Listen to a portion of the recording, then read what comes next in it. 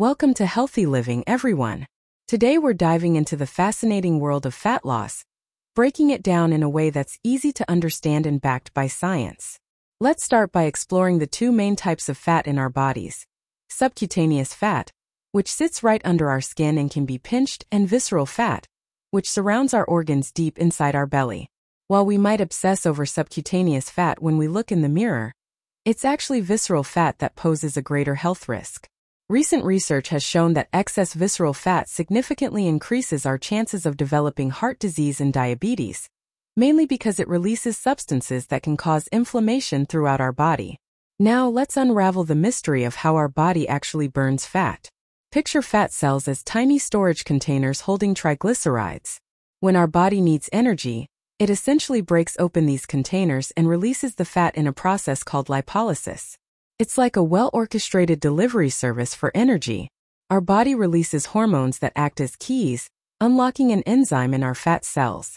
This enzyme then breaks down the triglycerides into smaller fatty acids, which travel through our bloodstream to parts of the body craving energy. Here's an interesting tidbit. Fatty acids don't mix well with blood, which is mostly water.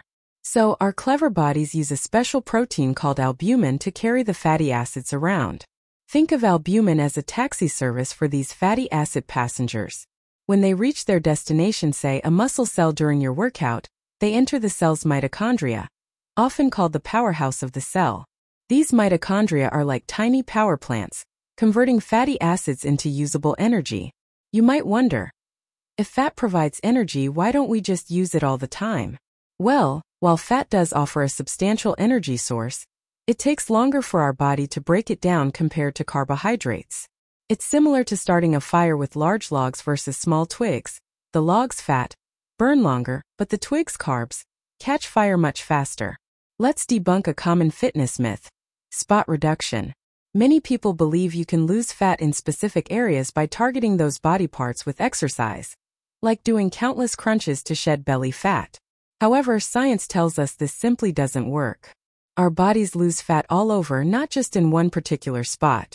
It's more about overall fat loss than trying to slim down one specific area. So, what's the most effective way to lose fat? You've probably heard about the fat burning zone exercising at a low intensity to burn more fat. But here's the kicker. While low intensity exercise does burn a higher percentage of fat, high intensity exercise burns more calories overall, potentially leading to greater fat loss in the long run. In fact, recent studies have shown that high intensity interval training HIIT, where you do short bursts of intense exercise, can be incredibly effective for fat loss. But don't worry if high intensity workouts aren't your thing. Regular, Moderate exercise is still fantastic for your overall health. Don't overlook the power of lifting weights. Research has shown that resistance training can boost your metabolism, helping you burn more calories even when you're not exercising.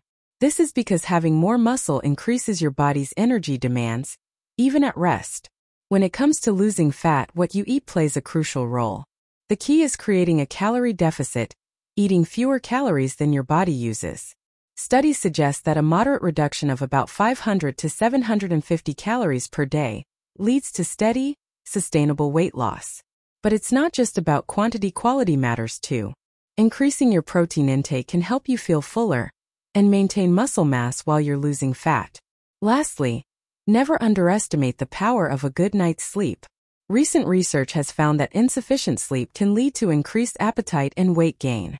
So, prioritizing quality sleep is an often overlooked but crucial aspect of any fat loss journey. Remember, everyone's body is unique, and what works for one person might not work for another. The key is to find healthy habits you can maintain long term. This isn't just about losing fat, it's about embracing a healthier, more vibrant life overall. Thanks for tuning into Healthy Living. If you found this information helpful, don't forget to like and subscribe. Got questions? We'd love to hear from you in the comments below. Here's to your health and happiness.